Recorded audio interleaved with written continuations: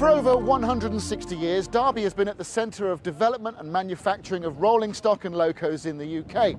But it's not just a history of manufacturing, there's also a history of testing and research. And with a skilled workforce and a host of ancillary companies in the area, it was only sensible that when Bombardier were looking for an outlet in the UK, Derby was their choice. Martin Bright, you're the Technical Services Director for Bombardier here in Derby. There's Yes. been there's quite a lot of heritage and history that goes with these works, isn't there? Yeah, we've been building rail vehicles on this site since 1839. Uh, originally carriages and wagons, but now a much more modern product like these two Electrostar trains here. Now, I'd love to see one of these Electrostars being built from scratch because I travel on one of these to work every day. Okay, I think the first thing we ought to do then is start off in the car body construction area.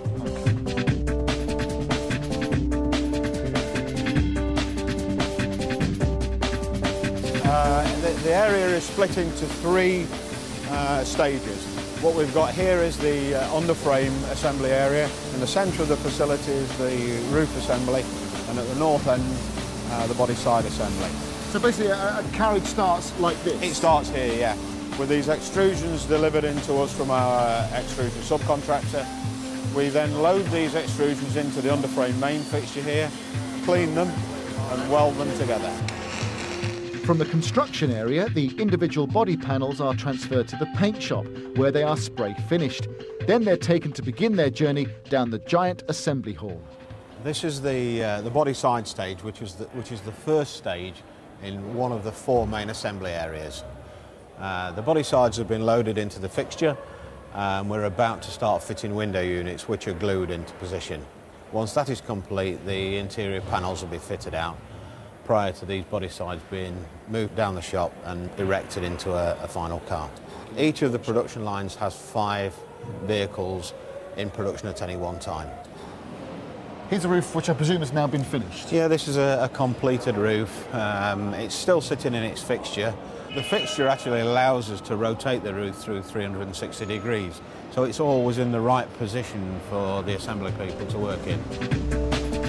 Next to the roof, an upside down floor panel was having all the necessary wiring, pipes, and fixtures fitted that make it ready to receive the modules for power, plumbing, air conditioning, and lighting. Once complete, it is moved on down the line to be joined to the two side panels. Now, this is beginning to look more like a carriage. What stage are we at now? Uh, we're at the erection stage. What's happening in here is that the underframe has been located into the fixture. Uh, the body sides have been moved down from the body side stage and are located on the yellow reference fixtures. We're currently waiting for the roof to come down. Once that's located in position, the vehicle is hook bolted together.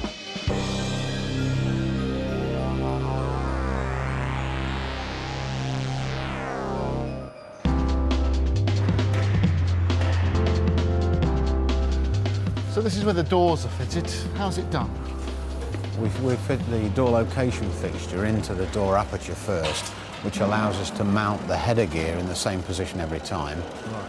The doors are hung on the, the rails at the top and located onto the rollers at the bottom. In an adjacent workshop, the cab units were being assembled. The complicated mouldings for these are the only piece of bodywork that are made outside the plant, as it is more economical to do so. They arrive as empty shells into which all the control and communication equipment is fitted.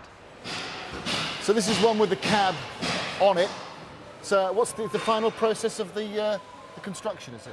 The, the vehicle's currently standing in the traction and interior fit-out stage. So what we do here is we fit all the heavy underframe equipment, that's traction equipment, brake equipment, uh, toilet tanks. So the, the only thing once it leaves this stage left is bogieing, fitting of seats and general cleaning of the car.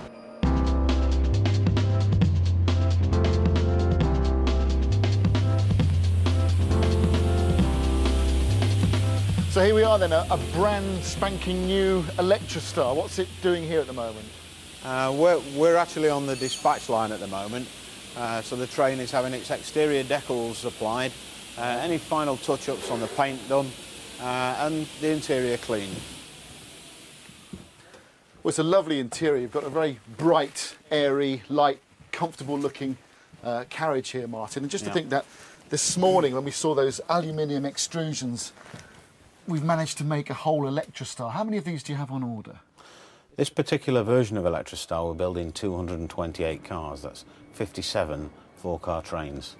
We have a current order book that uh, lasts in excess of uh, 10 years. So you're going to continue and carry on that tradition here in Derby? Definitely. Derby will continue as a rail manufacturing plant.